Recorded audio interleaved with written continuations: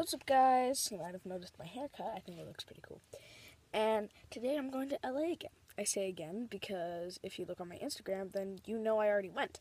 So, uh, let's do it.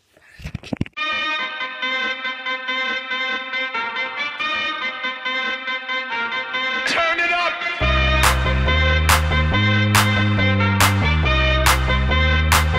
Sorry, I didn't post yesterday, guys. Sorry.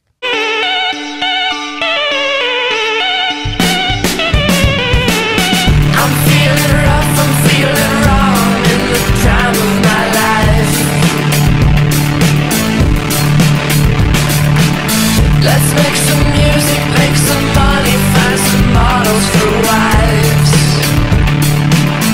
So the reason we're here in LA is because my dad's retiring from the army, and he wanted to be here from the, for the last day of his work. So people are calling my dad sir. He must feel so important. Hey man, what's your favorite snack? Oh, you know, Pringles. Pringles. Three dollar parking? What the bell? So we just got back from LA, and I'm here in um here and in Poway, um, and I actually have something to say. So this one guy, he, it was like, it was his retirement too. So like, people were like, uh, this the guy who was speaking to everybody there, he was giving a speech to him, and he was like, I would not be here without him. It is his responsibility. He like trained me and stuff like that.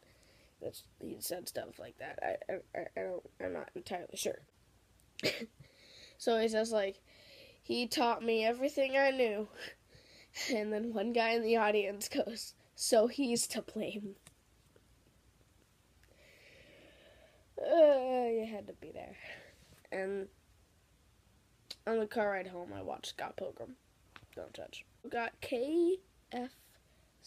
So, um, I just wanted to tell you guys that because the video itself was like kind of short. So, yeah. See you guys next Saturday. Goodbye.